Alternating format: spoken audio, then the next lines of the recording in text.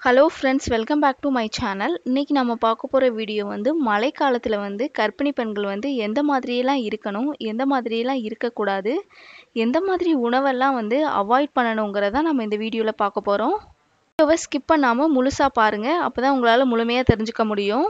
First பார்த்தோன்னா மழை காலத்தில் வந்து கர்ப்பிணி பெண்களால் தண்ணீர் குடிக்கவே முடியாது. என்ன காரணம்னா நம்மளுக்கு தாகமே எடுக்காது.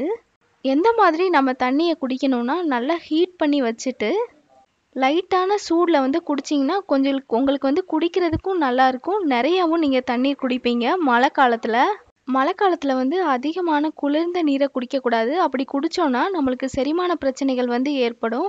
நார்மலாகவே கர்ப்பிணி பெண்களுக்கு வந்து செரிமான பிரச்சனைகள் வந்து அதிகமாக இருக்கும். நம்ம வெதுவெதுப்பான லைட்டான சூடோடு நம்ம தண்ணி குடித்தோன்னா நம்மளுக்கு மழை காலத்தில் குடிக்கிறதுக்கும் நல்லா இருக்கும். செரிமான பிரச்சனையும் ஈஸியாக சரியாயிடும். இரண்டாவது நம்ம பார்த்தோன்னா செரிமானம் ஆகாத உணவுகளை வந்து நம்ம முன்னாடியே கொஞ்சம் சீக்கிரமே சாப்பிட்றலாம் இல்லை மழை காலத்தில் வந்து கொஞ்சம் அவாய்ட் பண்ணிக்கலாம். ரொம்ப உங்களா உங்களுக்கு வந்து இதுக்கு முன்னாடி அந்த சாப்பாடை சாப்பிட்டு செரிமானமே ஆகிறதுக்கு ரொம்ப கஷ்டப்பட்டீங்கன்னா மழை காலத்தில் வந்து அதை அவாய்ட் பண்ணிடலாம். இல்லை மார்னிங்கே எடுத்துக்கலாம். மழை காலத்தில் வந்து எல்லாருமே ரொம்ப சூடாக சாப்பிட்டா தான் கொஞ்சம் டேஸ்ட்டாக இருக்கும்னு நினைப்போம். அதுக்காக வந்து ஸ்ட்ரீட் ஃபுட்ஸ்லாம் அவாய்ட் பண்ணிடணும். அந்த நேரத்தில் வீட்டில் வந்து உங்களால் என்ன ப்ரிப்பேர் பண்ணி உங்களுக்கு சாப்பிட முடியுதோ நல்லா கொஞ்சம் சூடாக சாப்பிட்டுக்கோங்க. வெஜிடபிள் சூப் மாதிரி வச்சு கூட குடிக்கலாம். மழைக்கு வந்து ரொம்பவே நல்லாயிருக்கும் இல்லை மஷ்ரூம் சூப் வச்சு குடிக்கலாம். இதெல்லாம் வந்து நம்மளுக்கும் ரொம்ப ஹெல்த்தி. குழந்தையோட வளர்ச்சியும் நல்லாயிருக்கும் மழை காலத்துக்கு ரொம்ப டேஸ்ட்டாகவும் இருக்கும். மூணாவதாக பார்த்தோன்னா ஃப்ரூட்ஸ் வந்து கண்டிப்பாக சாப்பிட்ணும். ஆனால் அப்போவே கட் பண்ணி சாப்பிட்றதா நல்லது. ஒரு மணி நேரத்துக்கோ இல்லை அரை மணி நேரத்துக்கோ முன்னாடி கட் பண்ண ஃப்ரூட்ஸை வந்து சாப்பிடக்கூடாது. அதுவும் மழை காலத்தில் ஏன்னா ஈஸியாக வந்து தொற்றுக்கள் வந்து அதில் வந்து உட்காந்துரும் நம்ம சாப்பிடும்போது நம்மளுக்கு நிறைய ப்ராப்ளம் வந்து ஏற்படலாம்.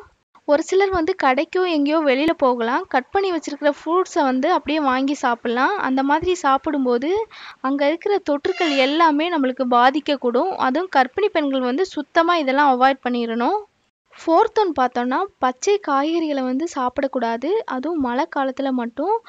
முளைக்கட்டிய பாசி பயிர்கள் இதெல்லாம் வந்து அவாய்ட் பண்ணிடணும். என்ன காரணம்னா ஈஸியாக டைஜஸ்ட் ஆகாது மழை காலங்களில். ஒரு சில பெண்கள் வந்து பச்சை முட்டையை அப்படியே குடிப்பாங்க பச்சை பாலையும் அப்படியே குடிப்பாங்க. இதெல்லாம் வந்து மழைக்காலங்களில் வந்து சுத்தமாக அவாய்ட் பண்ணிடணும் ஹீட் பண்ணாத பால் முட்டையில் வந்து அதிகமான பாக்டீரியா வந்து இருக்கும். நம்ம அப்படியே எந்த இதுவுமே ஹீட் பண்ணாமல் அப்படியே சாப்பிடும்போது நிறைய பாதிப்புகள் வந்து நம்மளுக்கு ஏற்படும். சிக்கன் மட்டன்லாம் அதிகமாக வேக வைக்காமல் சாப்பிடுவாங்க. நல்லா வேக வச்ச பிறகு தான் வந்து கர்ப்பகாலத்தில் கர்ப்பிணி பெண்கள் வந்து கண்டிப்பாக சாப்பிடணும். ஃபிஃப்த்துன்னு பார்த்தோன்னா மழை காலத்தில் வந்து கர்ப்பிணி பெண்களுக்கு வந்து அதிகமான ஒரு சோர்வு டயர்னஸ் இருக்கும். அந்த நேரத்தில் டீயோ காஃபியோ நம்மளுக்கு குடித்தோன்னா நல்லா ரிலீஃபாக இருக்கிற மாதிரி நம்மளுக்கே தோணும். அதுக்காக அதிகமான டீயோ காஃபியோ வந்து எடுத்துக்கக்கூடாது நம்ம அப்படி குடித்தோன்னா நம்மளோட குழந்தையோட எடை கூட ரொம்ப கம்மியாகிறதுக்கு நிறைய வாய்ப்புகள் இருக்குது மழை காலத்தில் அடிக்கடி ஹேண்ட் வாஷ் பண்ணுங்கள் அப்படி ஹேண்ட் வாஷ் பண்ணுறதுனால நம்மளை வந்து ஈஸியாக தொற்றுலேருந்து ப்ரொடெக்ட் பண்ணலாம். ஏன்னா மழை காலத்தில் வந்து அங்கங்கே சில பாக்டீரியாக்கள்லாம் வந்து ஈஸியாக பரவ ஆரம்பிச்சிரும். நம்ம வீடு கூட நல்லா க்ளீன் பண்ணி வச்சுக்கோங்க. அதுவும் நீங்கள் எந்த ரூமில் இருக்கீங்களோ இப்போ பெட்ரூமில் அதிக நேரம் இருந்தீங்கன்னா அங்கே நல்லா சுத்தமாக எதா என்ன சோப்பு போட்டு நல்லா க்ளீன் பண்ணாலும் லைட்டாக கொஞ்சம் டெட்டால் ஆட் பண்ணி க்ளீன் பண்ணுங்கள் இல்லை லைசால் கூட யூஸ் பண்ணி நல்லா க்ளீன் பண்ணிக்கோங்க. இப்போ ஹாலில் அதிக நேரம் நேரம் இருப்பீங்க. ஒரு சிலர் பெட்ரூம்க்கே போக மாட்டீங்க. அவங்க நீங்கள் எந்த பிளேஸில் இருக்கீங்களோ அங்கே வந்து நல்லா சுத்தமாக க்ளீன் பண்ணி வச்சுக்கோங்க. ஆறாவதாக நம்ம பார்த்தோன்னா நம்மளோட ட்ரெஸ் வந்து காட்டன் ட்ரெஸ்ஸாக இருந்தால் இன்னும் நல்லாயிருக்கும் அப்படி இருக்கும்போது நம்மளோட பாடி ஹீட் வந்து நல்லா ஈஸியாக சமநிலைப்படுத்தும். இப்போ காட்டன் ட்ரெஸ் போட்டுட்டு அதுக்கு மேலே சொட்டுறோ உங்களுக்கு எந்த மாதிரி இருக்கோ அந் அதை வந்து மேலே போட்டுக்கோங்க. செவன்த் ஒன் பார்த்தோன்னா மழை காலத்தில் அங்கங்கே தண்ணியாக நிறையா இருக்கும். நம்ம ஒரு ஸ்டெப் ஏறினாலோ இல்லை வெளியில் வந்து வீட்டுக்குள்ளே போகும்போது ரொம்ப கேர்ஃபுல்லாக போகணும். ஏன்னா நம்ம ஈஸியாக வலிக்கு விழுந்துருவோம். மழை காலத்தில் போடுற ட்ரெஸ் எல்லாம் ரொம்ப பார்த்தே போடுங்க. ஏன்னா உங்களோட ட்ரெஸ்ஸை மிதித்து நம்மளே விழுந்துடக்கூடாது. மாடிப்படி ஏறுறவங்க கூட ரொம்ப மெதுவாக பார்த்து ஏறுங்க. மழை காலம்லாம் கொஞ்சம் அவாய்ட் பண்ணிக்கோங்க. இல்லை ரொம்ப மெதுவாக ஏறுங்க. எயித்து பார்த்தோன்னா நம்மளுக்கு ஸ்லிப்பர் வந்து நீங்கள் கரெக்டாக போட்டுக்கோங்க. நார்மலாக போடுற ஸ்லிப்பரை விட மழைக்காலத்துக்குன்னு தனியாக வாங்கி வச்சுக்கோங்க. உங்களை வழுக்காதபடி நீங்கள் எங்கே போனாலும் உங்களுக்கு கம்ஃபர்ட்டாக இருக்கிற மாதிரி போட்டுக்கோங்க. அதிகமான ஹீல்ஸ் வச்சு போடாதீங்க. இதுக்கு முன்னாடி போட்டாலும் மழை காலத்தில் மட்டுமாவது அவாய்ட் பண்ணிக்கோங்க.